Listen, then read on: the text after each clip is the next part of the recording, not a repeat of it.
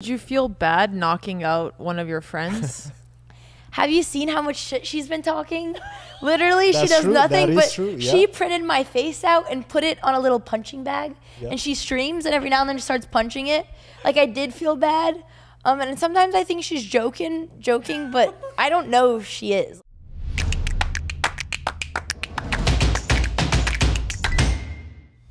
All right, here we go. C Squared Podcast episode. I'm not 100% sure what this one will be. We have uh, Alexandra and Andrea Botez in the house. Thank you for hosting us. In us. our house. in your house. Thank you for hosting us. Uh, I just want to start with you, Andrea, because this is mostly why we're he- we're, we are here in uh, For LA. me. For Just- you, mostly. Yes. Um, you are going to fight. I am That fighting. is a- actually insane. I Tell us know. I am still having panic attacks about it every day. Um, And Andrea, I never thought I'd say this, but maybe put your mic closer. oh yeah, these I these ones are sensitive. Um, this Sunday, so you guys are here for the chess boxing event. Mostly, yes. nice. Yes. Are you doing commentating or just? We're just gonna watch. Nice. I'm excited. Um, but yeah, I'm fighting in Ludwig's chess boxing. So it's going to be four rounds of chess, three rounds of boxing. You win by knockout or checkmate. Hopefully, I knock her out because she's a grandmaster and I'm not even a master. Um, but I've been training and working very hard for it. Yeah. Who do you guys want to bet on, Dina or Andrea? Who do we want to bet on, or who do we think will win? Who would you bet on? Oh, this I is won't get okay. What are offended. the I like odds? being the Okay, what are the odds, One though? to one. Uh, one to one? I'm gonna have to take Dina. I'm sorry. No, I like it 'cause sorry. I'm Do you want to make a bet right now? Yes. Alex will gamble. Okay. How much do you want to do? Take his You tell money, me. Alex. A thousand. Do you want to do a hundred? Sure. Let's do a 100. Triple it. Double it. Do you want to do three hundred? Let's do 100. I, I have no confidence in this Don't bet trust because Dina? I don't Come know on. anything about her boxing. he like very maybe she's gonna get knocked confidently out bet. within the first minute, but it's on camera. She will get knocked out with it. that that could happen. I mean, I wouldn't be upset. It's that's that's fair. No, it's a it's fair good. bet. All right, we have it on camera. I'm excited to see my. This is going to be See, the second. Andrea, I was willing win. to bet even more on you, but I, I appreciate. Yeah. it. No, you're, you're a good sister. But mainly the analysis was based on your chess. Because we didn't think that you can actually knock her out. That, that, that's. I mean, that's what all of my coaches have been saying. Like everyone's going to underestimate you, um, which makes sense because I've only had six weeks of training to train. There's no way I'm going to be a pro boxer in six weeks. But I think people will be surprised when I go. No, no, no. boxing. I think you can take her in boxing. I actually have no doubt about that. I think you would beat her in boxing. But I don't think you will knock her out. And then in chess, she has like what, 400 rating points over you yeah, or she has like a lot that? of points on me. So that's that's a lot. Yeah. So- it is. It is a challenge. I, I heard something from Lawrence tonight that it's only a minute and a half of of boxing, Boxing, which is not much. He said. I don't know anything about boxing, but he said it's not much. So So 90, 90 second rounds for boxing, two minutes for chess. But if you look at the other Creator fights, almost all of them were ended prematurely. Like some of them ended in 15 seconds, and these are grown men who trained for like several months. So I think because we're really small and we're also noobs, like if I land one combo in those 90 seconds, I think it's over. It's but you have to be, of course, you need like one perfect punch. But I think we'll, it'll happen. would you feel bad knocking out one of your friends? Have you seen how much shit she's been talking? Literally, she does true. nothing That but is true, she printed my face out and put it on a little punching bag, Yeah. and she streams and every now and then starts punching it. Like I did feel bad, um, and sometimes I think she's joking, joking, but I don't know if she is. Like, Did you guys talk about it? well, at that's the thing. Well, we were friends. We were friends. We met in. what do you mean we were? We're not anymore. Maybe we'll be after. She can join me for a bowl of celebratory mac and cheese after, but before, no more friendship. Um, and we were even playing matches because I was like, oh, let's train, like, let's make content. And then the last like three weeks, we just cut off all content, all contact with each other, um, and just stopped talking to each other. And now we just shit talk each other. And you guys actually traveled to Romania Yeah, recently, and she she came to was there as well, and she was helping you Yeah. with content. How Yeah. was that relationship? Did you guys know that you were going to fight at that point? Well, we knew six weeks before the event, so no. No. But she was great. Like, um, that, that was one of my favorite things for the chess travel show. Yeah, that we did. love Dina, and she Yeah, was she also was on our last guest. season of traveling. like super She's- entertaining, she's great chess player. Added a lot to the show, um, but now she's my greatest enemy. so why did you decide to fight with Dina? Um, so Ludwig asked me about this event a long time ago, and we were supposed to be gone in December. So I was like, "There's no way." It was an easy no. And then six weeks before, I we get a call and our show for this year is, moved to next year. So I'm like, hmm. And I check my messages and I got a message from one of their organizers and they're like, we're looking for an opponent for Dina Belenkaya. And I was like, I don't know why. I, I like to make impulsive decisions, but it just felt like fate. No, you impulsive. yeah, it just felt like fate because I was like, well, our show's canceled. What type of coincidence that I would get a reminder on the same day? It was God's sign I was meant to fight. I was actually surprised because Andrea and I had talked about it before and she didn't want to fight. And you just had this huge switch. Yeah, no, I just, I don't know, I just felt it in me. I, I, I don't know. I don't know what's in me, but I'm glad I did. You should trust your gut.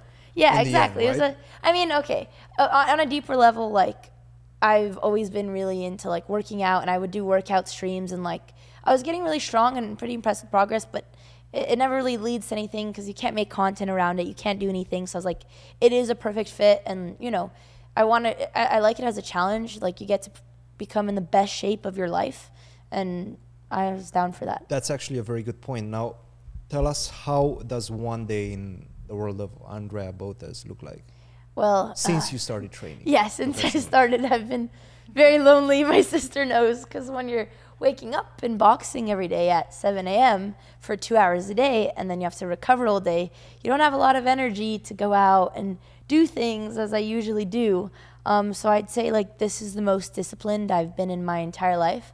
Um, right now, I was training six days a week, and other other weeks were six to five days a week, where you wake up, you go to the gym for two hours, um, then I come home, I do some work like YouTube or stream, and then since we're training so intensely and I was so behind the other fighters, it, the nighttime is typically just like recovery. Like you have to take Epsom salt, you have to roll your muscles, you have to ice things, you have injuries. So it's just like recovery and training and dieting and every day on repeat.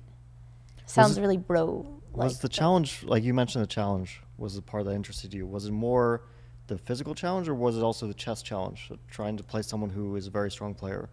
I was like, I would rather just box her. I did not want to do the chess. That was the last thing. Having six weeks for this event, I was like, I don't want to train any chess. Which initially we were going to do a tag team. Mm-hmm. Alex was gonna play chess against her. Yeah, yeah. Because it seemed much more fair. But we just thought that win or lose, that's just not cool. Because Yeah. everybody will say, hey, exactly. you got a 2v1. I'd rather lose like a real champ Yeah, or win and impress everyone than, you know, win and it's And like. you would get to recover while Yeah. she plays chess. yeah, and- I mean, well, you both sit down, so technically you're both recovering, but yeah, she'd be thinking and I would be watching. But it, we also thought it would be really tough to play chess after your like the physical exertion and the toll that takes on you is Yeah. also part of the challenge. That yeah, that's like the whole like what makes the sport what it is. That's the challenge. But I honestly don't think the recovery is that challenging What for about me as well. Andrea and I were in London and we went to a chess boxing club there and we tried to somewhat mimic it. Yeah. And it did seem like it affected you then. Oh yeah, if you're not in good physical shape,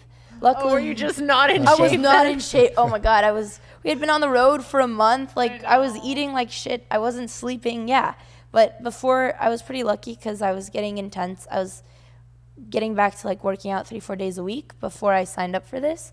Um, so I think I have a slight advantage because like I would see Dina in Romania and she'd be impressed. Like I'd be going to the gym the morning before the stream, so I know I have a little bit more experience like catching up in the fitness part. Not you to have shit talk. inside info about Yes. her uh, Well, situation. she knows. She knows that, which is but, why she but doesn't she's want to in fight good with shape as well, right? She's in great shape, but I think I'm in better shape. I'll say it. and you mentioned that you did some boxing before. Um, was that the case, or did you do some fitness I did classes, boxing? but doesn't comp- like real boxing is so different. Like I thought I did boxing. Yeah. I was like, oh yeah, I can do this. I went to box. I've punched bags stuff, but no. I see, the first day in training, I was like, everything I'd been do- doing was wrong. Yeah. So not really. I didn't really have an experience. When did you start sparring people? Um, I think, funny enough, my first week of boxing, um, because the girl I was sparring, so I don't know if you guys know of Creator Clash. It's a big think so, yeah, YouTuber yeah. box. It's the one that our roommate Minx fought in, and she won. Um, and it was like the first big YouTube with multiple create. Like there's the Paul brothers, but those are smaller. This was like streamers and YouTubers. Um, and my opponent, the girl who I was sparring, is someone who's been training for the Creator Clash, and she had been training for like eight weeks more than me. Um, but in like one week, my coach was like, "No, I have like." He was very confident in me, and I think now I was able to catch up. Um, but I think that was the best practice to start sparring Didn't really you early. bruise her? That was the second time, yeah. But she gave me a little bruise. too. I saw this video recommended on my channel recently by Ludwig, where he's like ranking people based on tiers, uh, creators based on tiers of who he would be able to beat in a fight and who who would destroy him in a fight. And at the end, there's like a bunch of chess players who are left, and he's like, y- you know, I, you guys probably want me to rank all the chess players now, but they're a bunch of fucking nerds, and I destroy them all. we should. that was the end of the video. We should have a rebuttal after the chess box. That must have been like a year ago. Look where It he was- is it was a while ago. I Now don't he's remember exactly. organizing the chess Yeah. boxing championship. That's hilarious. But I'm I would like to see more chess fights. You, do you guys have any ideas of like what would be good chess boxing matchups? Well, first, I want to ask you guys: Would you ever be interested in some sort of crossover of chess and fitness content? Yeah, I would. You would. I would. Yeah, for sure. Who would be your dream opponent to fight? No, I, I would. I would take Anish. Like I always say this. Anish. Anish. Anish is who I would fight. We're probably Alright, it's around very the same weight, Yeah, but he's taller than me. But we're probably around the same weight. that'd be a really. I wish yeah, you that's a guys good one. signed up. Anish is a good one. I cannot. So I've been doing some martial arts. I used to do kickboxing for three years uh, back when I was living in uh, San Francisco, and after that, in the last four years, I've been doing only jujitsu. So I've been thinking chess jitsu could I be one thing. Thinking She about that, that. because I didn't want to do boxing because I don't want to punch somebody. But if it was something like jujitsu, That's why I, I would stopped- like that. That's why I stopped kickboxing because I was taking too many hits to the head, and I was like, I need my See, my us brain. older people, this is what we want. Look, you guys have valid points, but unfortunately, the masses like to watch a gladiator fight. Correct. It's not Yeah. as Yes. entertaining if you're rolling on the ground. So jujitsu is like chess, but on the mat. People that are from the outside do not understand Yes. what's happening. So it's very boxing is so easy, right? Yep. You see somebody Easy to get punched follow, in the face, you start clapping. What about a chess. MMA? That's aggressive, yeah. Mm-hmm. Yeah. Just I would- I, I don't know. I- If, I would I don't into know if any chess players would be able to handle that though. But we should leave it at chess boxing. I, I like the idea of chess boxing. I would definitely do that. It, the the brain thing, and it's funny, like seeing feedback and like just feedback from the chess community on my chess boxing announcement. Because you know, chess players are more conservative. They're very about safety. They want to preserve your brain because it makes for you know. Um, but so many people were upset. They're like, "Oh my god, how could you do this? Like you guys are grandmasters and chess players. It's so silly. You're putting yourself at risk." Which is fair, but I feel like my generation is complete opposite and don't really con- worry about that as much Now, for the better, the worse. Andrea was mentioning that she's becoming more of the older sister because she's like very regimented. She wakes up early in the morning. Do you enjoy uh, that aspect now that That's you've been talking about us being older? Are you enjoying that slow pace? Let's say. Are you saying I'm slow paced? No, no, I'm not He's saying saying. you're fast I'm, paced. I'm asking you if you're enjoying that from Andrea. Um, I'm very proud of her because she has been so disciplined that it's also motiv- motivated me to continue my fitness regimen because you know you can't have one sister that's way more fit than the other. And She's been doing well. She's been training like three, four days a week in the gym on her own now. I have, and I also have a trainer who I work out with. So it's gonna working take me a while, but I'm getting there. No, but honestly, she's been so busy that it kind of sucks. We do a lot less together now. She always has to go to sleep early. It's so lame. She's My gone life in is the so morning. lame. So I honestly just miss having a sister. Aw, that's really sweet. Yeah. I know, like we had this big Christmas dinner on Friday. I was like so excited to see all my friends. I was like, finally. And then I realized Yeah. Friday I can't eat any food because the weigh-in Saturday. So I was like, great, another night. Yeah. Yeah, but soon. So what's your fitness r- routine like? Uh, I have a trainer who I work with like three days a week, and I do weights, and then the other days I do like an hour of cardio. The only problem with me is when I travel, my routine goes completely berserk. So that's it's over when you travel. Yeah, it's completely over. When I'm home, I'm so good. I'm working out. I'm usually eating pretty well, except for like let's say some cheat days. But then when I travel, I'm inconsistent. I'm either zero or one. Did you manage to find a routine when you travel? Nope. Nope. How Still about working you guys? on it. Because chess tournaments, being in physical shape is very important. Yeah, it's it's really difficult once you lose that routine, and traveling like just t- totally ruins it, especially when you're playing chess, Yeah. because then you can't work out. Yeah. You have to prepare and then play, and maybe you have like a, an hour in the morning. We were actually doing that when we were um, when Cristian was my second for the Sinquefield Cup. we would do it first thing in the morning because that was the only time that we would have motivation to. It's also Actually, the I want to ask you about out. it. Did you feel like it helped at all? Did you enjoy that, or Yeah, I did that for the U.S. Championship too because I, Really? I liked it. that's good? And then I dropped off recently because it's been so busy that I haven't been able Yeah. to work on. Uh, was it? I remember reading in some article when you were training for the World Championship that uh, you lost so much weight while you were playing the match that you were trying to bulk up. Was that true? Yeah, I probably lost like 15 pounds during the match. 15 pounds during the Something You like match? weren't working out. And do you think it was No, I from wasn't working stress? out. Yeah, it was stress Wow. That's awful. and like like just burning calories at the board. Yeah. but a lot of stress too. That was probably the most weight I've lost during a tournament. Yeah. Wow. That's crazy. I And feel ho- that was uh, a problem for us as well. We didn't really have very good restaurants during the World Oh, Championship. No, this is what match. Magnus does really well. Is that he um, has a chef, which is really Who great. comes His with own him? people, yeah. Yeah, it's like a professional athlete. Yeah. Like the NBA has a chef. But chess players are yeah. dumbasses when it They comes to that. They have to to adopt yeah. that mindset, Yeah. but it's hard to realize how important it is. We were actually thinking of like a YouTube challenge where we're training chess and getting really healthy.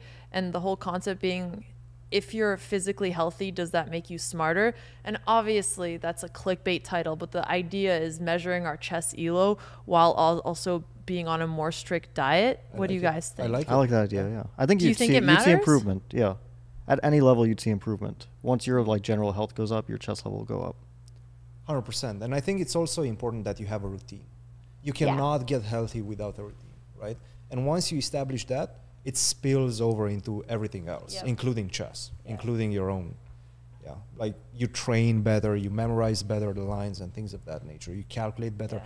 Also, you have much more confidence, and I think this is extremely important for chess players. Actually, on that note, do you feel like your chess has improved now that you've been working out a lot and, and training boxing a lot? We'll find out.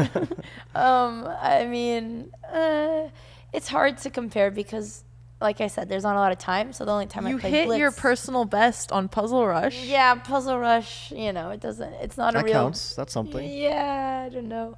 Um, but whenever I play on stream, it's like you know you're doing really well. You gain 50 points, then you look at chat, you get distracted, and then you tilt, and then you lose double what you gained. So that never really changes. Um, and I haven't been playing chess off stream, so it's hard to compare. Maybe it's more suited for like classical chess playing, where you can Yeah, like you, you don't go on those like long benders. And yeah, all my chests are just long benders. I actually find when I'm in a routine and healthy, I tend to play better blitz, and that's when I tend to reach my all-time highs, which is why I wanted to try the challenge. Also, because I want to do both. Well, you've also been very healthy the last couple of weeks. So do you think you've seen a change? Well, I was healthy until I went to New York for a week, and then my routine completely fell apart. Yeah, but Um, you've been back for what two weeks? And I've you've been, been back healthy. for n- n- a week. Uh, I But have you enough lose the I haven't even been motivation, back for a week yet. Okay, yeah, I don't know. You also it lose the motivation. You lose the motivation because you feel bad. That's why, it. uh, Yeah. for us, when we do the chess travel show, that's one of our hardest times because we're going to like three to four different countries in a month. We lose all consistency, and that's actually the probably the most difficult content piece we do, just because it kills your entire routine. And right, also, it's, it's like something you look forward to once you get into it. It's like you look forward to do it every day, and then once you stop, for some reason, you just stop liking. st- I don't understand Yeah. why this phenomenon happens, but whenever I work out a lot, I start to enjoy it, and then I stop, and I'm like, I don't want to work out. I don't want to wake up for this. Mm-hmm. It's a weird thing. It's mostly because you have so many other distractions. And it's Mhm. so difficult to wake up at like seven o'clock and be like, the first thing that I have to do is go and work out. And if you build that routine, then it becomes extremely easy. It becomes something that actually you enjoy. Yeah. Yeah, yeah. Now, I have a question for you, Andrea. Hmm? One of the biggest pet peeves whenever I um, train, whenever I do jujitsu, martial arts, I'm so afraid just before I go to fight because I Oh, know that there's yeah. somebody else that wants to put me down. Yeah. yeah. You're going to make that walk in a couple of days. yes. What are your emotions right now? I mean, I know I've I've been just rewatching videos of other creators entering and people talking about how their fight went. So I know that what I'm feeling is completely normal, and I know also what to expect. Like I've been, my nerves are turning more into excitement because I'm starting to feel pretty confident with my skill. Um, but I know that the day of, the second you're gonna get there, like everyone is, there's no way your adrenaline's gonna be all time high, and that's the reason once you get in the ring, you don't remember anything. Like you have, that's why you can take punches because you're so you have so much adrenaline like you don't even feel anything. After it it all feels like a blur. It's also a weakness because it's really hard to remember all these technique and all these things that you've practiced in the ring when you're really high on adrenaline. Um, but i know that that's normal so i'm just expecting it. And i know that the day of is going to be the most stressful and until then all i can do is just stay as calm as i can. But when you listen to people's stories fighting it's crazy. Like people have concussions that they don't even feel it until they lay down because they're so excited during the fight. They miss like 20, 30 minutes Yeah. of their life. Yeah, yeah, you you don't remember any like everyone who fought in Creator Clash, they talk about it and they don't remember anything from the fight.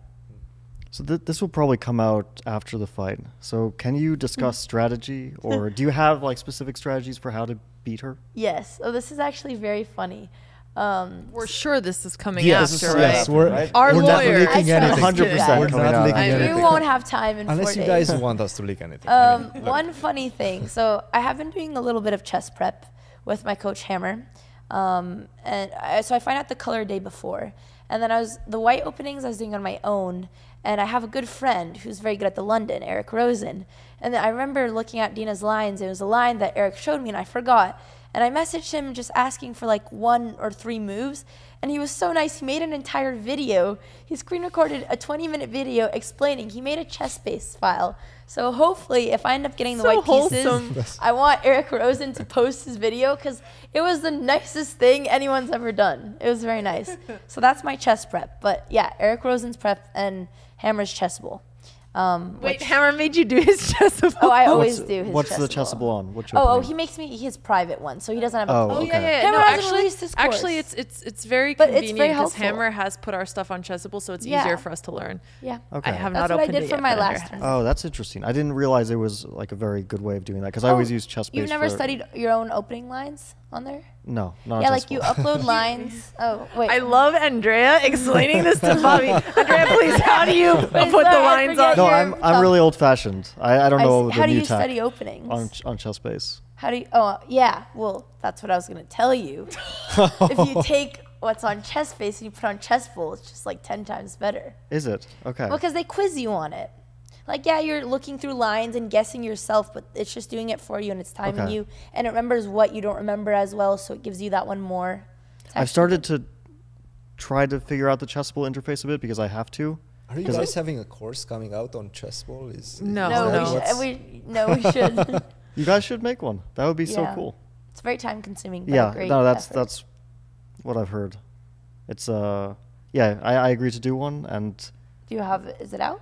No, no, no, it's I don't know when I'll have time to do it, but I'll try to find Yeah. time to do it. That's the story of every chess player I know. They've been Hammer's been working on his course for like a year and a half, I think. Maybe even longer. Yeah, who knows? Who knows Well, I- I honestly think it's because a lot of the top players, the the grandmasters, they don't actually want to teach. It's just lucrative. So Yeah, you're forcing like yourself burden. to do something that you don't actually like. I, I think it's also very attractive to make something that's very high quality that will remain there, and That's people a will much more from positive spin that I also agree on. No, I like I, I wouldn't want to just put some crap out there, and I've Yeah. talked talked to other Yeah.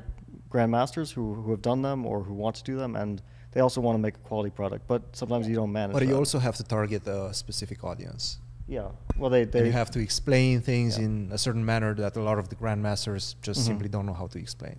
But that's very important um, for for grandmasters in general to learn how to teach people of all levels chess. I think. Alexandra, are you excited about this uh, chess boxing event? How will you feel if Andrea gets hit in the head? Like the first punch, even if it's like, Oh, I'll kill. Dina. are you gonna be on the sidelines trying to jump in, trying Yo, to yo, get in No, the I, action? so I remember when Andrea and I were watching Minx's fight, and it was terrible to watch Minx get punched. You know, I Alex was the entire so nervous. Was like, oh no, I can't look. and then I remember thinking, oh, at least it's not Andrea. well, yeah, I, it, it, it's honestly going to be terrible. I don't, I don't think I don't want to watch. bad. It'll be worse for her than for me. You think is gonna be worse I'm for me than for you? I'm sure for her than for. you. I, I mean, it's just, uh, yeah. I think it's awful to watch your sibling get punched. My dad will be there too. yeah, he told Papa me the same thing. Papa Botez. will be Botez. there, okay. Papa Botez and I will be holding each other's hand, squirming.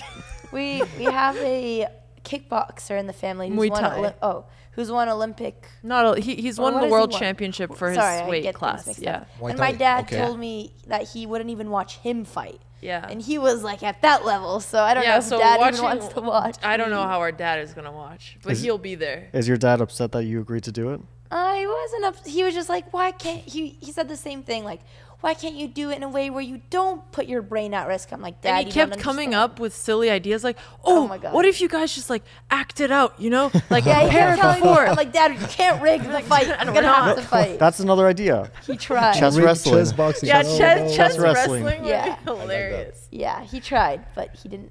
They're they're happier that she's using headgear because that mm-hmm. was a big thing that my parents were very nervous about. Yeah, which is a people don't know because we we were gonna.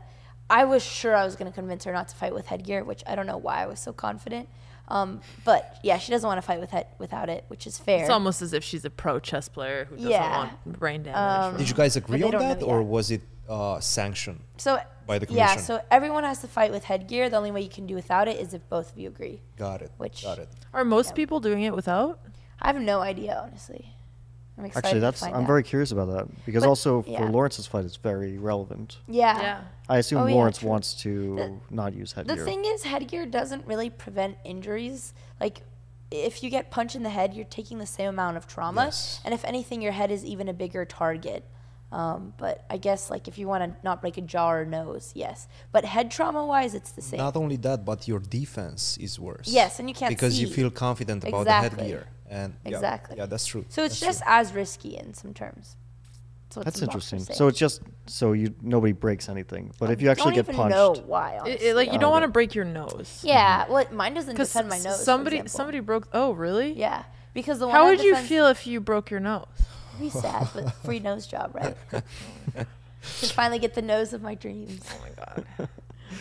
We're not gonna talk about that. We're definitely not going to get in. No, I was Well- just I was just thinking like because I I have never broken my nose. Is that that's not like a serious like they Oh, fix that up very easily, right? Not sure Or about not? that. It's going to be very um, easily uh, breakable in the future if you break it once. Once you break it Oh, once, okay. you're gonna It's get more hit. vulnerable. Yeah, Well- super vulnerable. Yeah, just like with everything else. Like if you get concussion, your brain is going to be pretty rattled for a very Mhm. long time. Have you guys ever had a concussion?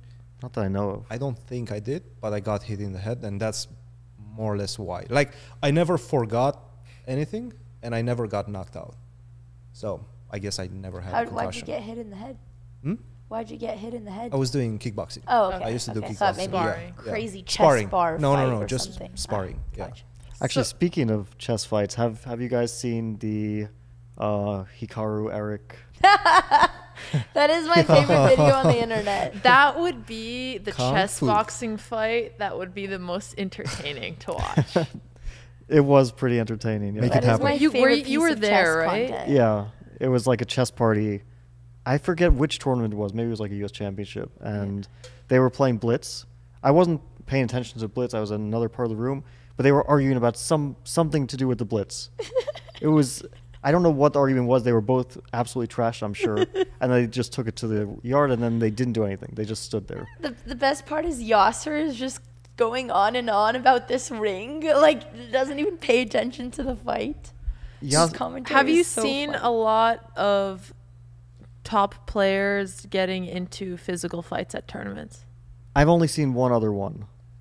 What, can you Uh, tell us? Yeah, I can. I, I might as well. Do. I don't. I hope Hikaru doesn't mind. it was. Hikaru, Hikaru. Okay. Hikaru is not a sensitive guy. It'll be fine. Yeah, He doesn't No, care. I'll preface it by saying Hikaru won the tournament. It was at the Gibraltar tournament, uh, Gibraltar 2017, and he had won, just won the tournament, and it was like a huge prize fund, like 50 grand. He won, and he was celebrating, and he had a lot of drinks. And I was playing blitz against uh, Simon Williams, and it was like time odds blitz, like one minute against five minutes, something like that. And we were just playing for fun. I don't think any money was on the line. Um, but Hikaru s- comes in and he's watching and he starts trash talking Simon. like very aggressively trash talking him. saying like, "How how are you playing like this? Like, how are you losing one five minutes against one?" That's and really funny. at some point, Simon says something back, and they get into it. I don't remember the details. I was also a little bit tipsy, but not super drunk. um, and then they started. Hikaru was like, "Yeah, I'll play you five against one, any any amount, ten grand, twenty grand." oh my god. And then they were like, they were starting to arrange chess boxing. Like they were actually, Hikaru was like, chess boxing, one million dollars, six months from now. What? And and then eventually they take it outside the hotel, and they stay there until roughly like five a.m. At some point, the the hotel staff is like, "We're going to call the police because you're making noise and you're waking up guests." And so eventually it got broken up. Nobody got nobody fought. Did they Nobody got hurt. Fight or No, no, or no, they, they just just like stood- It was exactly like against Eric. They just stood off. They just stared each other down for like two straight hours. Do you know chess that? Do you know that video of the dogs barking at each other with um, the, the the bridge or whatever it is in between them, and then the gate opens up, and then they shut up, and they don't even look. Yeah, at each they other. did. They You didn't want that. to fight. Nobody wanted anyone to fight. And then the bridge closes again, and then they start barking at each other again. but they were. It was just like a macho thing, you know. They were That's like, very That's funny. hilarious. And Simon's a strong guy. yeah, He's a big guy. Simon's Yeah. really Karu big. had some guts Yeah. Zero confronting chance him. That's, Hikaru. that's true. Yeah, that's really funny. I mean, props to Karu for provo- starting the chess boxing content. We didn't even know he was He the was- original one. He was the first. He would OG make a great matchup. boxer. I wish he would chess box. and I think he mentioned not. that he said that he's going to fight Magnus if the money is right.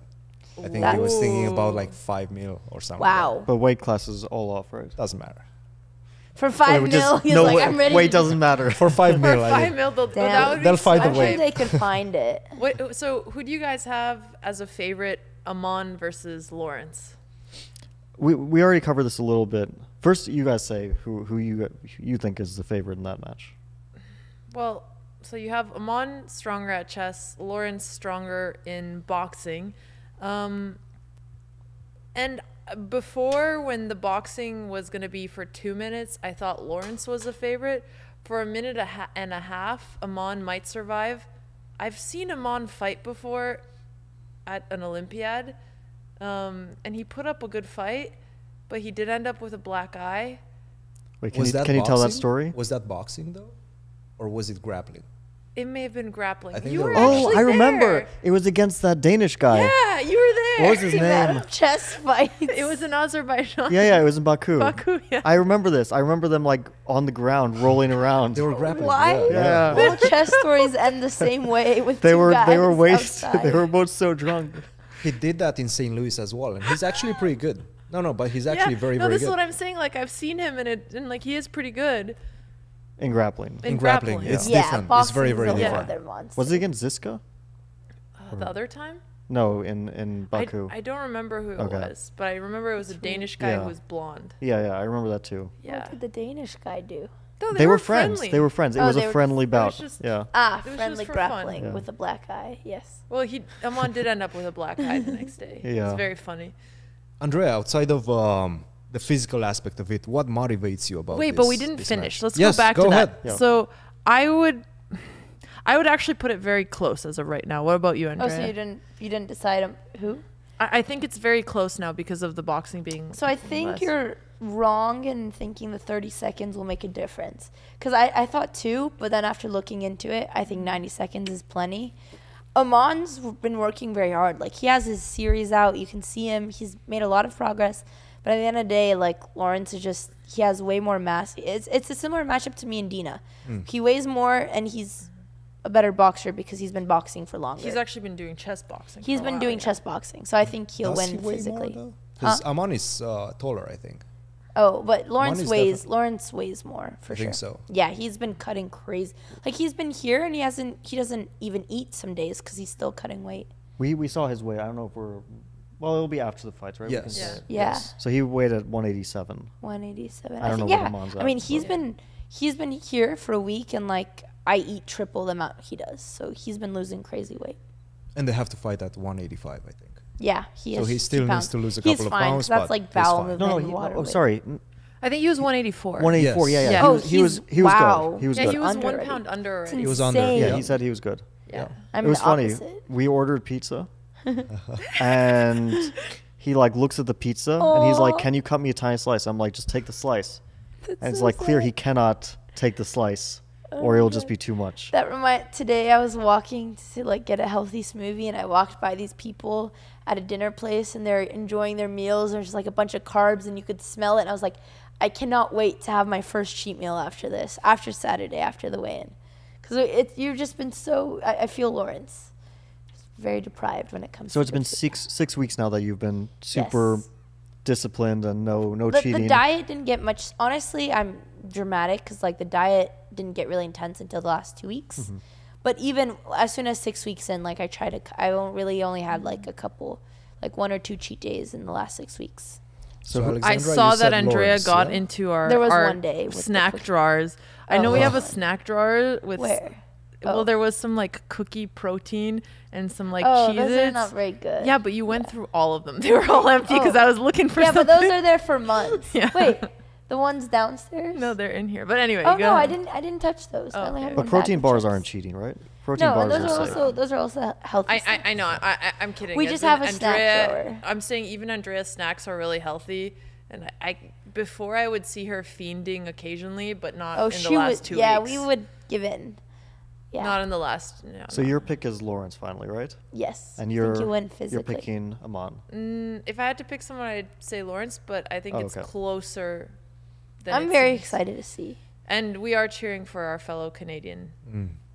Are we rooting for anyone in particular, or No, no, no. I mean, I said that I believe Lawrence has the better odds just because of uh, the boxing. Mm-hmm. But now that I think about it, and it's only one minute and 30 seconds, I think Aman might have a chance to survive. It's very difficult. Look, I don't think Aman will actually beat up Lawrence. I think Lawrence is way above Yeah. in terms of skill. Yeah. Um, I've seen him. He moves well. He's he's pretty Yeah. decent.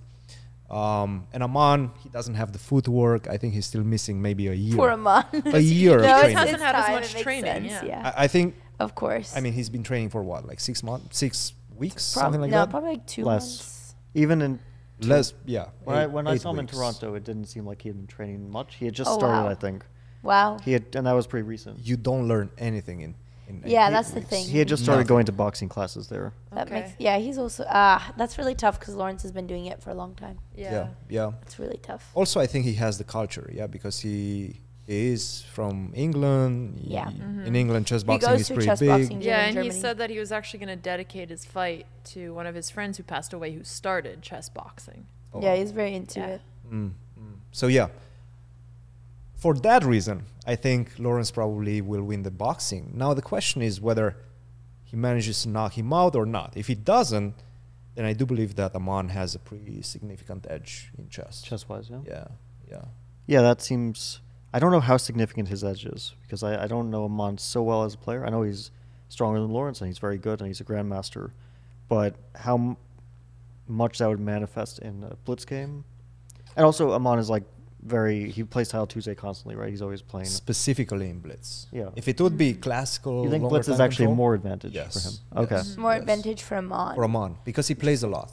Yeah. Oh, 'cause I've seen. I good at mean, he plays. Yeah. That's his job, basically. Yeah, Yeah, true. Um, Lawrence doesn't play that much. At Yeah. least It's only one game.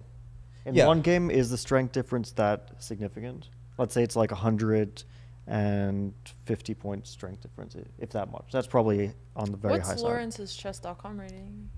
I don't know. I know his FIDE rating was mid 2400s to high 2400s and then dropped to 2300s at some point. Got it. I don't know where he's at right now, though. Okay. It, yeah. Look, Fabi, you took Dina. I'll take Andrea. Okay. Don't disappoint me. Okay. Are, you- are you you- you have to betting? put- Official you prediction. You with also have to bet money All with somebody. let's bet. Who do I bet with? We don't really have someone to. Fabiano, you want to make another bet? Let's make another bet. Oh. All right. How much? A hundred. Uh, Sunday um, night's dinner. How is this? Chess, It's a chess economy expense. isn't doing too well. what's going on the podcast regardless. Please subscribe. If you guys are watching this podcast, 50. make sure you 50. subscribe. 50. 50 what? Push-ups? 50. dollars. Dollars. Okay, American United, dollars. United States, American dollars. Sounds like a plan. Okay. Please win. okay, I will follow up. It's I'll going to make cost me 150 bucks. I'll make sure they take I your think money. I have a five hundred dollar bet. I think it was five hundred dollars on Andrea as well with Dan Smith, the poker That's player. so Really? funny. Yeah. Is he Uh, gonna be there? Uh, no, but he'll watch. Mm, mm. Now, I feel like you are, both of you actually, um, people that are looking for that buzz, that excitement in everything, in traveling, in chess. Is this buzz, the chess boxing buzz, for you, uh, Andrea, more exciting than our regular content. than everything else? everything else has numbers on we've done for- YouTube, numbers Oh. on Twitch, um, you doing something for the first time, something exciting, doing some commentary Mm. or something like that. Well, it correlates with numbers, so I think those are intertwined because Mm. I'm planning to get some banger YouTube videos. out And of she already this. has Mhm. her. The last Yeah. video was number one out of ten on YouTube, and it was her chess boxing prep Yeah, video. It, did, and it wasn't buzz, even yeah. like a real video. Yeah. So, I mean, number one, I think like the concept on YouTube is going to do really well, which is exciting. I mean, I'm still a workaholic. I still get happy when I see numbers rise.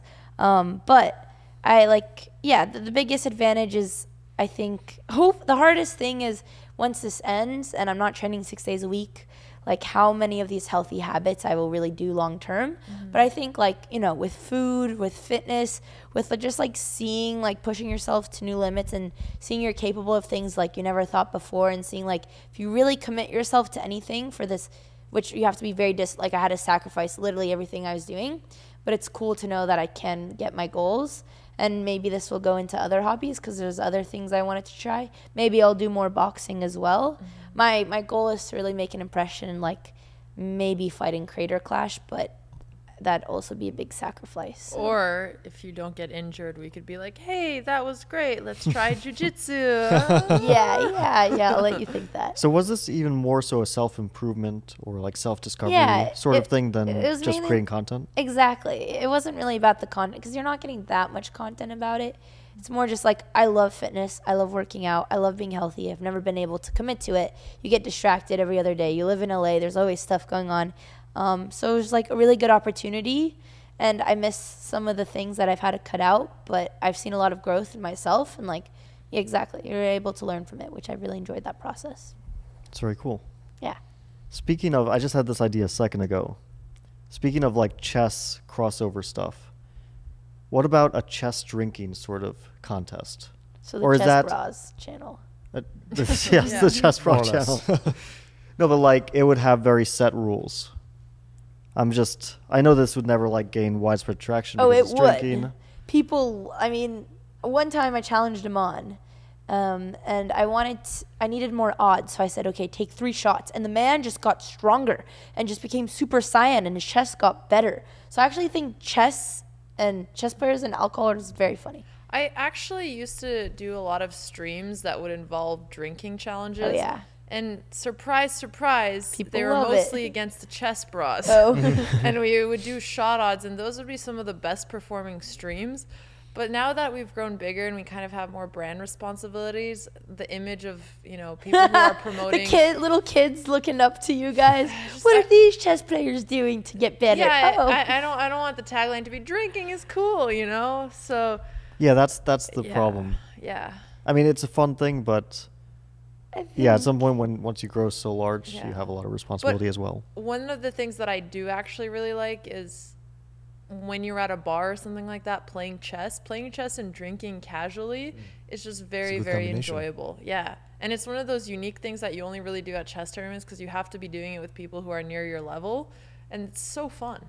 the the best party trick for us girls Oh yeah. is you go to a random house party, like you know, LA influencer party, and you bring a chess set, and you don't bring it out until later the night when everyone's really faded, and you just start challenging people, and that that is how you win everyone over at the chess. Oh yeah, and, and the way people's mind gets blown is very Like, entertaining. oh my god! Like the reactions are hilarious. Yeah. Have you hustled people in chess? I have yes, I've had my decent. I mean, it runs in the family. Papa Botez taught us young. Yes, this is true. And you guys did that in New York a little bit. Did you guys do it here in LA as well? Uh, there's coffee chess, which we went to a little bit. Have you guys ever done coffee chess? Yes, we're actually planning Oh, on going nice. there on Saturday. I Oh, that's think. awesome. Are you playing the Trash Talkers or podcast? Well, Not Cristian 100% already sure. played. Um, Boston Mike. no, uh, no, no, no, no, who no. was- Uh, Dave- he has uh, Dave. an Italian name. No, he's Um, the great. Oh, Great Carlini, something. The great Carlini, Yes, yeah. yes, Carlini. yes. But this was many months ago, and we expected to go on the channel, and it just never did. but I think at some point it might. I guess they have the footage sitting That's there. what they said. They said they're going to put uh, even our like podcast link in the description. So I That'd be would cool. Speaking of your come out. matches, Cristian, remember when you played us? And you had to do that TikTok dance? That was terrible. I don't remember That That was terrible, But yes. I'm Maybe not for surprised. the podcast, you could I over- underestimated you. overlay the dance I so think that they'd people like can to see. see- No, The no, no. growth. Do you remember First of which all- dance it was? I don't remember. But that's the problem with Twitch. They disappear. I don't know. Maybe you guys have it. I if you guys have it, you can give it to me. Maybe Only I'll if consider it. people ripped it off on you and put it on YouTube. I think we may have posted it on YouTube. I wonder if we have. Did you? I think you matches. did. Actually, Yeah. I, I think you did. Wait, what that. was your name? The Count, Count, live. Live. Count I remember. No, no, no! Don't put it out know. right No, now. no, can you I- find it? Yeah, no, no. I have a pull it out vivid right. memory. Have you seen it? No, I haven't, Oh, unfortunately. Tori will show you. Let me It's terrible. This Well, is I tried finding it, but I think you'd have to go through our old videos. But But that's the thing. Yeah, on on Twitch everything disappears. Thank God. yeah, On YouTube everything stays. Unfortunately, fortunately, Andrea did not find it. Very good. I'm very sure good. Yeah, you we'll- were. we'll- we'll have to if do you some have watched the podcast until this moment, please link it. in yeah. the- Link it in the comments. Find it. It's somewhere in our videos. We've been talking a a lot about uh, the chess boxing, but you guys are first and foremost content creators, and you've been streaming for a while. I want to talk about your beginnings in in in that world, and you started this family business, Alexandra. The family business. It- yes, it, it- yes. It is a family business. It yeah, is now. Actually, we've I had like a lot of like it's the family mafia. streams. Like they don't need to know. Yeah. At the family business. Yeah, I mean, I started it as a hobby, and you know, chess was always something I really liked, and then it grew into a lot more than that, and I went full time onto it when I only had like 200 viewers or so. Um, and then I started getting Andrea into it, and I convinced her to not go to college and come join the channel. Channel, as you can imagine, the parents were very excited about that. But they're happy now. now. And I think you, Andrea, were streaming on a different channel. Yeah, you had your own channel. Yeah, I was like, you know, I was 15. Playing I didn't really know what I was doing. I started my own account. And then, well, it only happened because of the pandemic. Because otherwise, there's no way we would have been in the same house streaming together. And they're like, wait, like, we're so similar. We do the same thing. Let's I think merge. it, no, I think it would have happened regardless because at the time I pushed Andrea to make her own channel, and then I was thinking of bringing her on, so I would have suggested that you do that regardless. Really? I, I don't. Yeah. I want.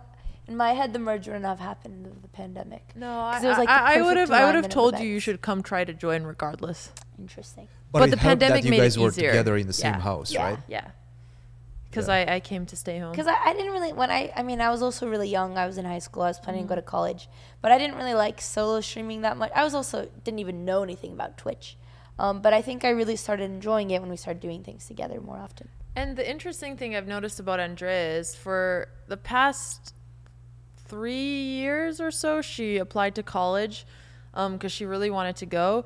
And now she finally decided she's done with that. And it's been the year that I've seen her take content the most seriously.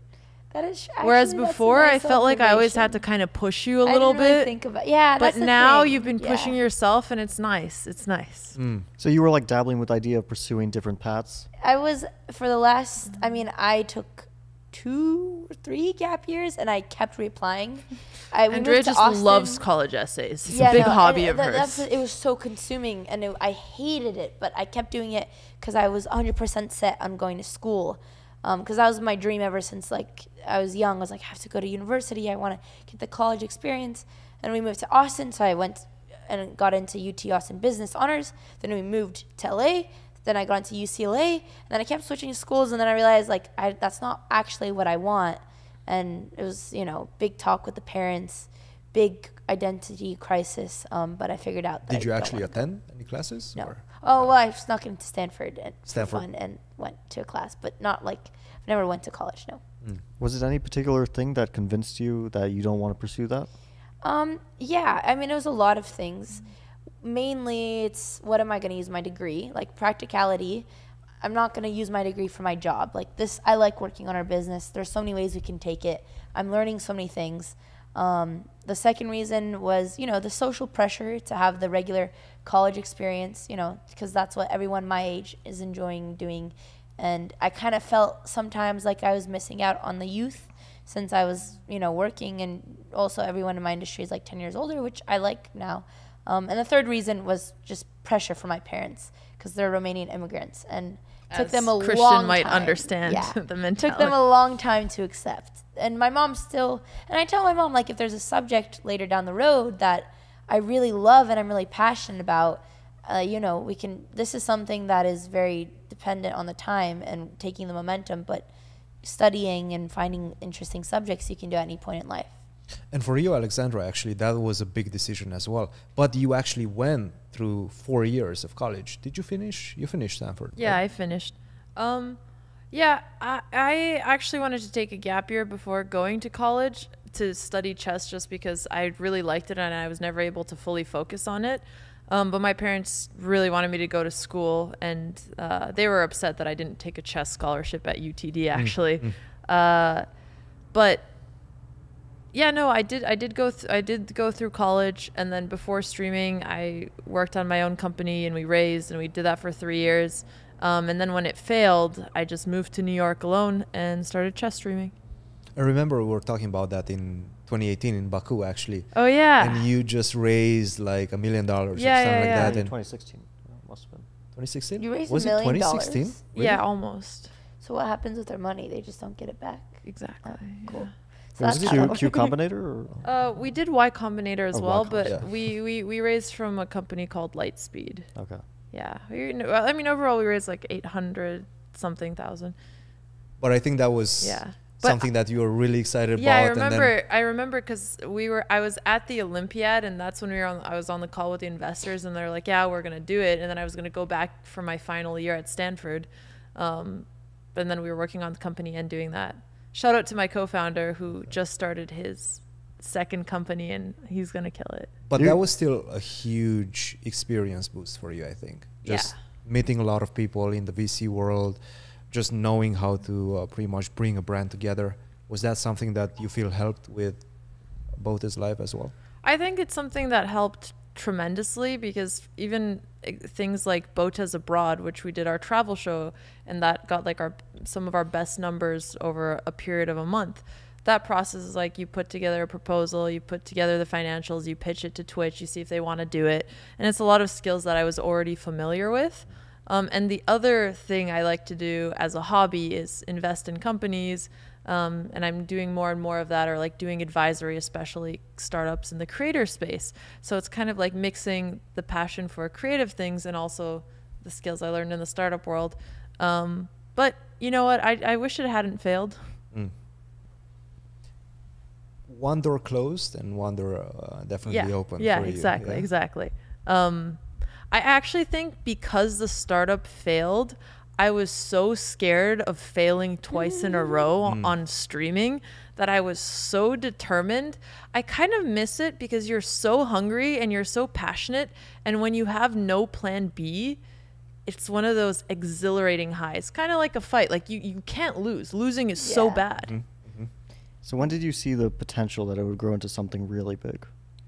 When I decided to go full time uh, into chess streaming, it was actually interesting. So at Y Combinator, they talk about how it's better to have a hundred people who love your idea than a thousand people who like it, and it's really good to start with a small niche and monopolize it. And that's kind of what chess streaming was. Nobody knew if the market would grow for sure, but the people who watch chess and the people who like chess really, really love it, and they were super supportive. So it's one of those things where you know it'll it'll work at least as good as like some product management job for the short term, but long term, I think this can grow as a market. And if it does, being here first and already having that is going to be a huge boost. That being said, got super lucky with what happened after in the chess boom, and when it happened, I was so excited. I was like crying and of tears. So it was already your your business experience that alerted you to the the different factors in the chess community that might make it like a something with a lot of growth, and then everything else made it, explode. It, it definitely helped. And I talked to a lot of uh, my friends who are more entrepreneurial, and they were the only supportive ones. Everybody else, including one of my own investors, was like, you need to go into the real world at some point. And everybody who didn't understand it was like, you're just doing chess? So, Did that motivate you? Oh, Those type of words? oh, oh yeah, I find it so funny. I find it so funny. Hmm. But it's interesting that like we we find it normal that like something like Dota Yeah. you know, people will love to watch that. And then it was always, oh, chess is something for nerds. So, but we found out that, yeah, people like to watch Dota, but they also like to watch chess and other games. And chess, it, it has an appeal that it's not just a very niche thing. Yeah, and I think it was something more than that too, because the typical advice you get if you're a founder and you fail is like go work at a company in an industry that you want to start a company in the future. So going into content or going into chess, people would just kind of look down on because like who really cares that much about content? Who really cares that much about chess? So I actually got super lucky because then you know, flash forward a year to two years later chess is booming and creator economy is one of the hottest topics. So it, I did kind of luck out in that sense. And that is something that caught me by surprise because we actually met in 2019 at um, the finals of the Pro Chess League. Yeah, yeah. And yeah. we chatted a bit about that, and you were doing streaming, and you said that you don't want to do this for a very long time. That's so Mhm. funny. And then immediately you just exploded, basically, and then that was all she wrote. Well, I, I think when it was I don't want to do streaming for a very long time, I told myself that if things aren't growing or they're not really exciting, I'm not going to stay for it. It has to be doing very well or I'm going to hop on to the next thing because I really needed that adrenaline. Yeah, yeah. Because if the goal isn't big enough and you could work on anything, it's just not exciting.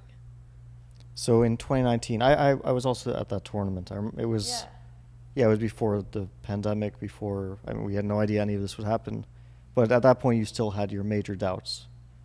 And I'm glad you guys are telling me this because I don't really Mhm. remember what I was thinking. no, I don't then. remember this. I'm just like going off of what Oh.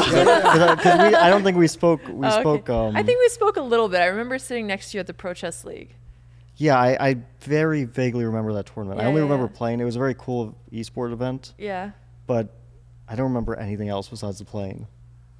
I remember you were doing commentary, I think, right? Yeah, I was doing interviews. The interviews after Yeah. that. Oh yeah, you we you did interview me at that tournament, Yeah, right? yeah, okay. yeah, yeah. Yeah, now it's coming back, starting to come back. Yeah, no, I was doing interviews there. Yeah, and I remember at some point you started speaking Chinese, and I was like, "What?" Oh yeah, What I, is I- happening? I did. I did one of the interviews in Mandarin, and I think I probably butchered it, but I just That's thought it would be cool to try. Do you remember who you interviewed in Mandarin? Um, Uh, it was the the Chinese the, team, the the pandas. pandas. But like, it, I don't Yue remember or- which of the Okay. players it was because I, I did multiple ones. It was Mhm. like three different players. Ah, okay. Yeah. That's very cool. They must have been really surprised. I, I, I- the thing is, I was able to ask the question, and then the follow-ups were really rough, but it's okay. I did not understand what's happening, so I'm sure everybody was like as amazed as uh, as as we were. What's uh what's in the actually, pipeline actually? Speaking Yeah, go of the. Pro Chess League, um, do you think that will ever bloom into something it's bigger coming back. for? it's coming back next year. I, I know it's coming back, and I know there have been some discussions amongst teams and sponsoring like chess as an esports. But do you think it's promising? Is my question. I hope so. I mean, I I was a bit disappointed because I heard rumors that it would, you know, esports companies would start coming in and, and not just for the content creators, but also for the professional chess players. And I heard that Maxime had a, uh, Maxime Vachier-Lagrave had a lot of interest from from a French company, and um, I was told that some maybe some companies would be interested in other players as well, but it never really developed into anything. I don't know if that's because things just move very slowly, and maybe it will next year. Um, and I think that chess.com wanted to do something this year, and it they ended up coming up with a big project, which was the Rapid Chess Championship and uh, the Global Chess Championship and all that. But they didn't end up making like this big esports league, and it's going to come back as a pro chess league, which is a great event, but not not in the scope that I guess we were hoping for. But I hope so. That would be very cool. I mean, it's really up to the companies, right? Do you I think mean, it makes sense though, yeah, why not? For who? as for chess to be an esport? We need more personalities. You mean why not have it over the board? Yeah, why not have it over the board or what you already have so many team events. Can you really build loyalty around bringing different chess players to esports teams that maybe they're not from that city or don't have an affiliation affiliation with? Yeah, I think that is one of the problems is that chess players tend to concentrate in cities very Mhm. specifically. Like maybe it's Moscow, now it's St. Louis, or Mhm. very often it's New York, right? But you you wouldn't have equally strong teams based on regions. Right. Yeah, chess is also such a solo sport. Like for video games, you're literally playing with a group of four people, but it's really hard to build that type of fan love when, uh, yeah, you need more to bond a team over than just oh you're from the same city. I feel like. But I mean, if you lose and it affects your team's score, Yeah. Yeah, but it's different when you're like playing a video game on a team. Sure, when But you're I- cooperating yeah, on the But same I, I find this esports conversation very interesting. I don't follow much of esports and video games, so. Would you don't have the require answer. to have the players in the same place? I don't think that would make sense because, I mean, at the start, you just need it to not be structurally difficult or it's never going to happen. And so I think if there's any esports teams that would form a league, they would just try to get the most entertaining plus top talent on their roster. And that's what would help the most. And then it would just be, you know, will their esports team adopt their chess team as as part of it? I think there I- were talks actually No, there were talks for for sure. an Indian. Uh, No, for Super in League. general there were. Yeah.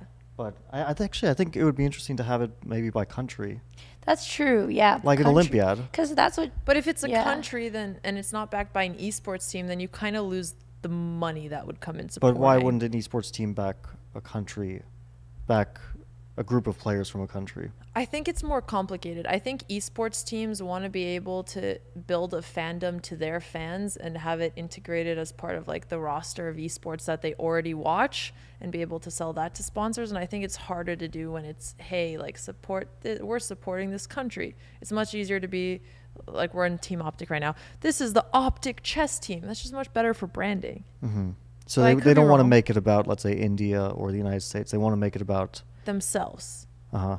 Interesting.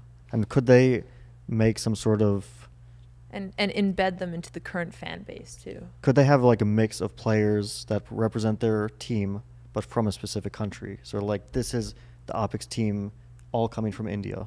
mm, Optics team all coming from India or wherever it is. that's a mixture of branding. Once they build the I, I, I think team. it just would be not what their priorities are because if you think of what drives the esports team, it's just getting the best players overall. You want to win championships, and then two, it's personalities. hmm And I'm not saying that like a specific country won't have that, but it's much easier to mix To and just- match. yeah. yeah. Would you have any rating cap rules, or would you just try to get the best players and whoever has, I don't know, the best branding, the best,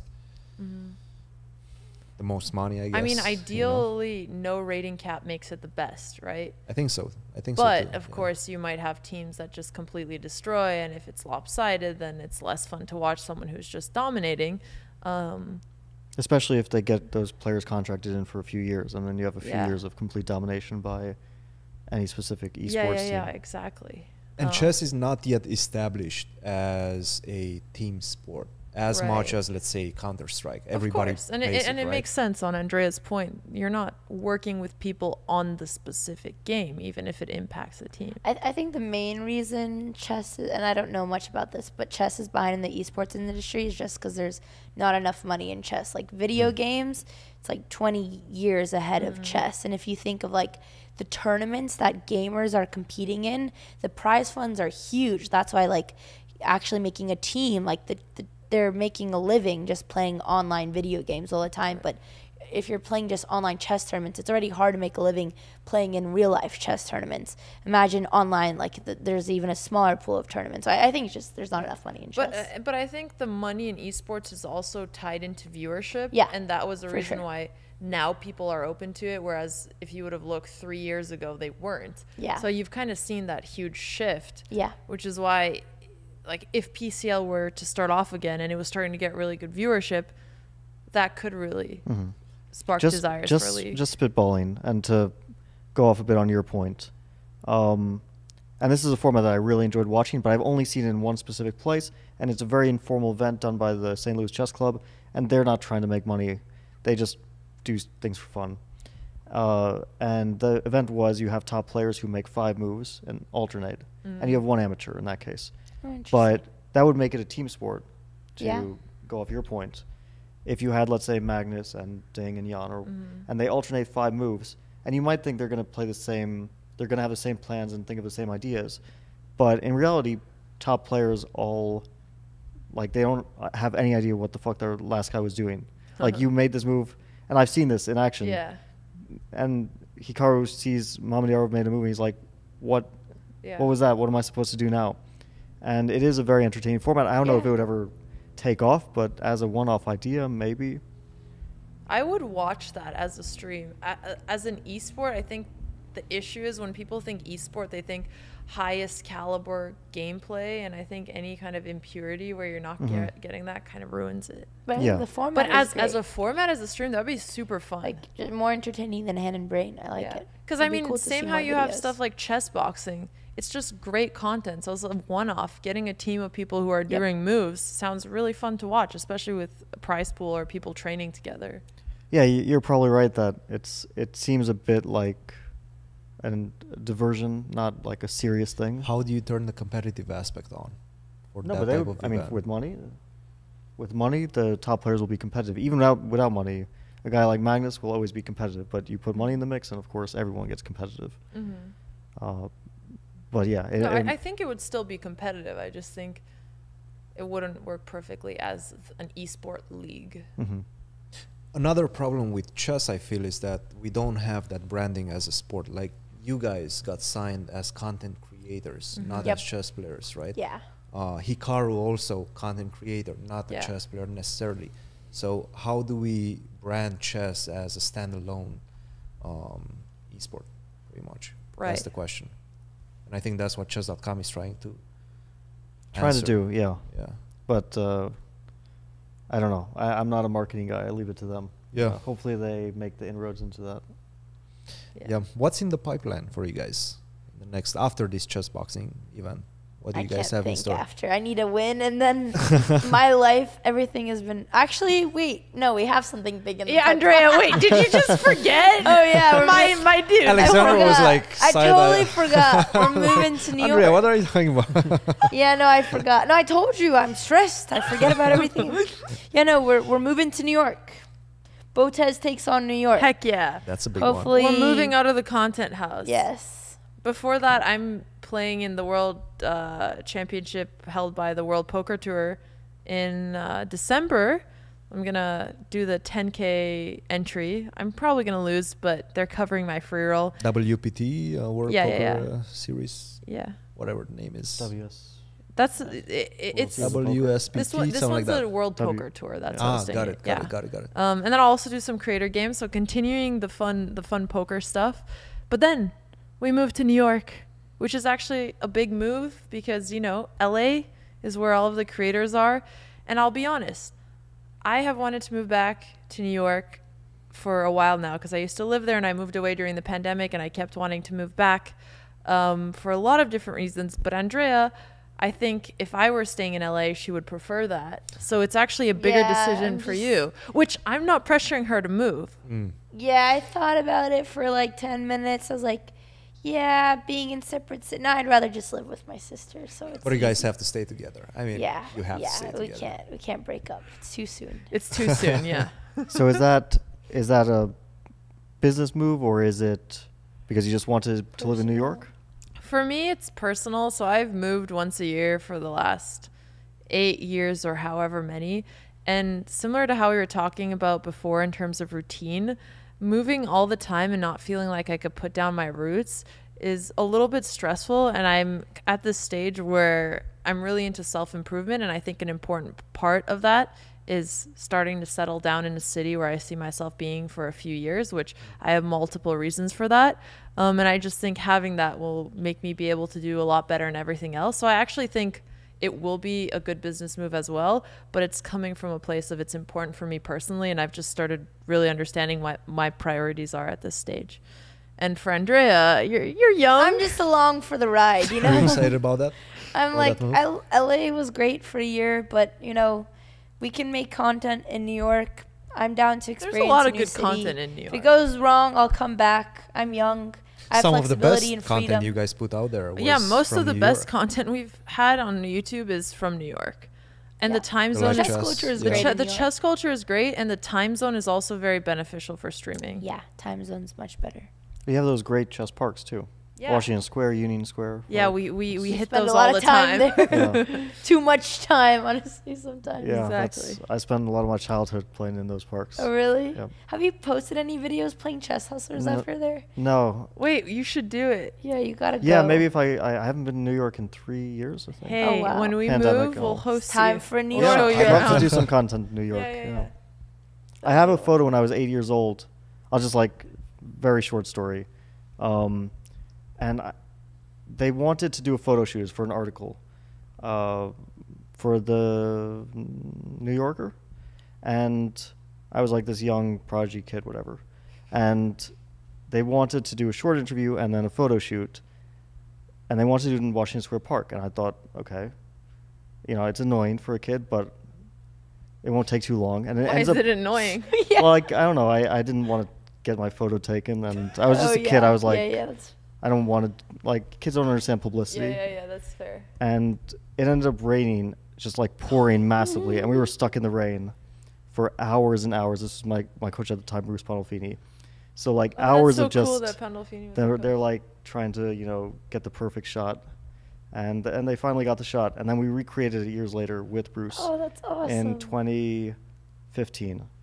We went to the same bench and, and took the same exact photo, which is me standing on the bench, and he's really tall, and I'm like, That's big, awesome. you know? And Pandolfini's Endgames is one of my favorite chess Our dad books. loves that Our book. dad loves. He's a great it. coach. Yeah. I Great give it coach. to everybody. Yeah. That's so wholesome.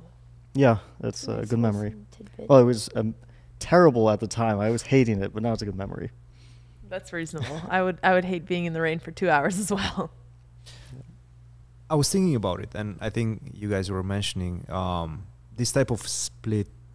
Like you want to cool off a little bit, calm down, and Whoa, whoa, Andrea whoa. is still Whoa, like whoa, super. whoa, whoa, whoa, whoa. When I say cool off, I mean don't move Settle. every single settle, year. Settle in. She- does settle wanna settle, yes. location wise so that the growth will be easier to focus on because what the foundation if, what is if there. at some point you will want to raise a family? Those She has thoughts me. ever What do you mean? into No, what your do you mean? I raise this She girl every single day. She can't even make me breakfast. What do you mean? She doesn't even. no, no, no. I, I, I, I do want a family one day. At Um, some point, but I- in the next five, ten years. Um, pr- uh, That's honestly, too soon. I'm calling it too soon. No, no, I, I, I actually do want a family, and you know, when you're a woman, the quality of your eggs Oh, God, decreases not the over egg time. talk again. Okay, I've had I've this heard talk this a few talk times. so I guess we're getting there. I need to freeze my eggs. So I do want to freeze my eggs, yes. Um, but I do want to have, be able to have kids, and I do want to have them at a young age, just because it's better for the kids. And I, I'm not saying I have big goals for those childrens, but you know, we have a family They family have to speak business Mandarin, first. and they have to be good at math, and they have to know computer science, and they have to play chess. But they also have to have a social life. But they also have to be athletic at the same time. So are the are these as yet fictional kids are taking over Botez Live at some point? Is Well, this the future? Well, I thought about it. I don't think There's dynasty. not room it- for more. It's, it's not good to put kids on camera when they're young. Well, that's actually well, it's probably not good for them, but for them, for the business, but it it's would have great. a hit. yeah, on yeah, yeah. But I, I, I wouldn't want to use my kids for that. But again, I But have, think I have college time. I have time, and um, also like at some point, Andrea and I might want to do separate content just because we're doing things differently. But I think there will always be. I A, didn't know about that. well, you don't like. What if you become a DJ? What then you? you'll be my backup dancer. yeah, you know I can't do that. yes, you can, and yes, you will. Is this your Last time I tried to come behind you while you were Yes. DJing, I got kicked out by her first groupie who I, I thought was her security guard. is this your plan to become a DJ in the future? No, no, it's just a small tangent. So she, she she's been getting Chess more into boxer, DJing. DJ. Um, I I was like. DJing, Yeah. but then I started boxing. There's too much to do. I mean, no, Andrea and I have actually been working. We've been working together really well and splitting tasks. And even when we do our individual things, it's kind of worked to put them on the YouTube channel and things like that. But we do have separate interests. Like Andrea really likes DJing. Let's say I like poker. Or I'm like really into startups and things like that. So those things might hmm. change, but I think we'll always have some kind of core.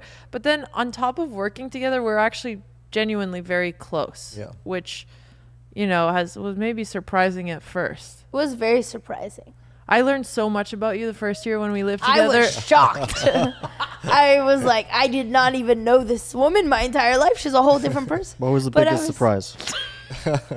if it's if it's not a secret. Um, I or can't any surprise. Any Look, surprise. we're not PC on the Um, C she was more podcast, fun so than I anything. expected. I always thought like, oh, the older sister's the good child. I was doesn't good get child. it. No, she was the bad child. I was the one who got in, in trouble and got caught.